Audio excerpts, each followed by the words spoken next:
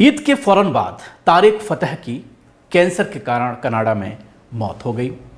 इस मौत पर कुछ इस तरह से खुशी मनाई गई मुसलमानों के ज़रिए और उसमें ये कहा गया कि दोहरी खुशी हो गई ईद की, जिसको लेकर कुछ मुस्लिम एक्टिविस्ट ने आरोप भी लगाया और उस पर आपत्ति जताई कि ये गलत है, किसी की मौत पर खुश होना।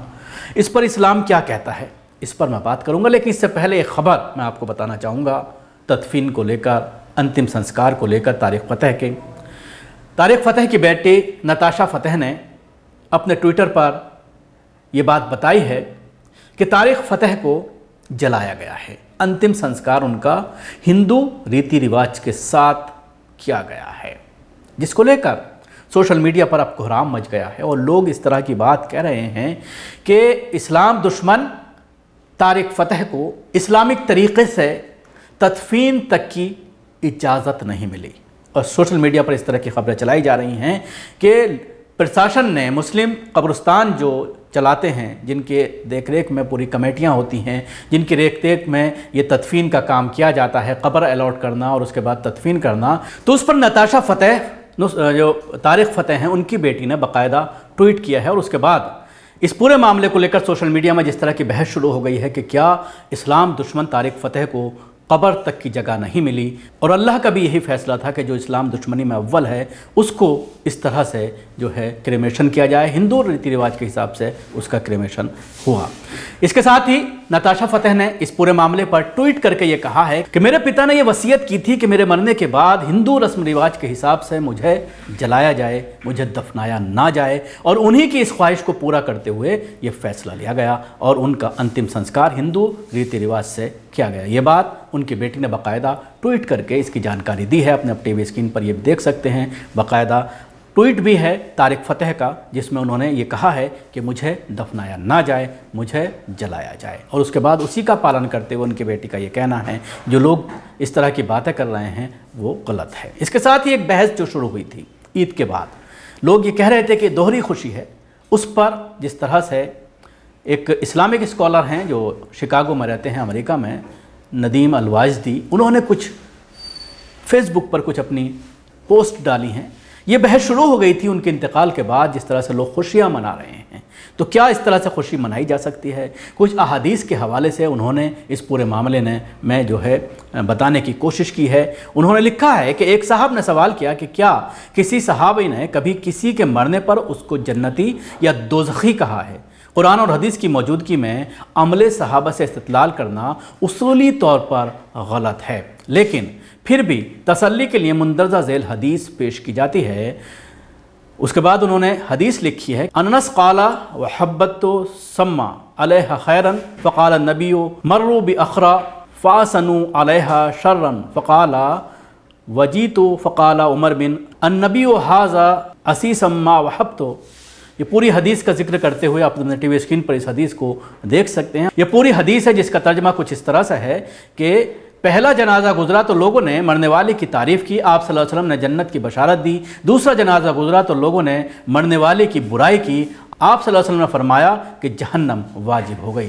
तुम लोग ज़मीन में खुदा की तरफ़ से गवाह बनाए गए हो। अगर एक फाजिर, फासिक या काफिर के मरने के बाद भी कहना ज़रूरी होता कि उसका मामला अल्लाह के सुपुर्द रसूल वसल्लम इस मौके पर यही तालीम देते। आप सल्लल्लाहु अलैहि वसल्लम का इस मौके पर इसलाह ना फरमाना।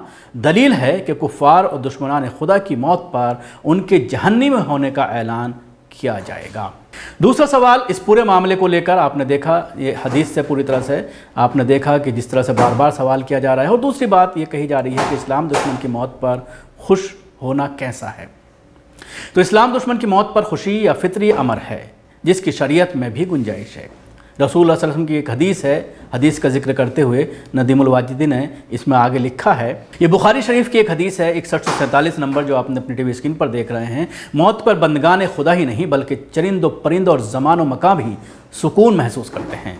मुखदस खारजी जब कत्ल हुआ तो सैदना अली अलमरतज़ा रदी अल्लाह ने सजद शुक्र अदा किया और इस तरह सुकून और खुशी का इजहार किया।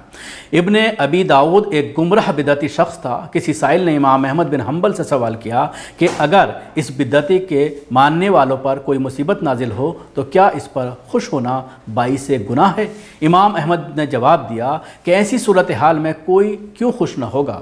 आज भी एक इस्लाम दुश्मन जो कि भारत में नफ़रत वाला माहौल परवान चढ़ाने में बराबर का जिम्मेदार है इस दुनिया से उठा है, उसकी मौत पर मुसलमानों की तरफ़ से।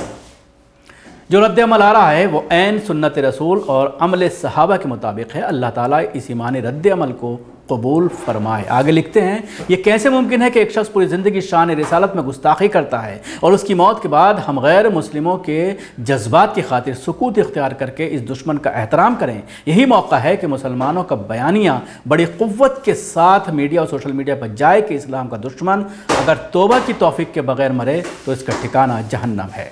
इसके बाद सोशल मीडिया पर कुछ लोग इस तरह की बात कर रहे हैं कि अतदाल की बात, यानी बीच का रास्ता कोई निकाला जाए। इसको लेकर भी इस्लामिक स्कॉलर से अगर बात की जाए इकराम से अगर बात की जाए तो उनका यही कहना है कि अतदाल इस्लाम में इतदाल की कोई इजाज़त नहीं। इस्लाम में यस या नो, दो चीज़ें हैं, जिनके ऊपर तमाम तरह के फ़ैसले किए जाते हैं। और कुरान और हदीस की रोशनी में इस तरह के तमाम फ़ैसले लिए जाते हैं। इसलिए बीच का रास्ता इख्तियार करना यही कहना कि ये गलत है, गैर मुस्लिमों को बुरा लगेगा, ये इसकी कोई इजाज़त इस्लाम में नहीं है। और एक बात और मैं आपको बताना चाहूँगा तरवत जबूर इंजील में जो बदलाव किया गया है, वो यही वजह है कि मगरब से अपने आप को मिलाने के लिए, दुनिया से, दुनिया में जो बदलाव हुआ है, उससे अपने आप को यकसा करने के लिए उसमें बदलाव किए गए, ज़माने के हिसाब से उसमें रद्दबदल किया जाता रहा। लेकिन कुरान एक वाहिद किताब है, जिसमें क़्यामत तक रद्दबदल नहीं हो सकता। इसलिए अतदाल की बात करने वाले इस्लाम के ख़िलाफ़ बात करते हैं। शुक्रिया, आपको हमारी कोशिश कैसे लगी, ज़रूर बताएँ हमारे यूट्यूब चैनल सब्सक्राइब करना ना भूलें।